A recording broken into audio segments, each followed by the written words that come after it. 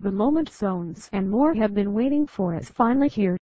On July 7th, Girls' Generation dropped their pre-release single and first title track, Party. Recorded on the beautiful beach of KOH Samui in Thailand, Girls' Generation makes their first summer comeback since Genie Tell Me Your Wish in 2009 with Party. Dancing on the beach and enjoying themselves in the pearly waters and pools. The popular girl group reveals their bright and lovely personalities through the music video. The first stage of Party will take place on the 10th on KOH.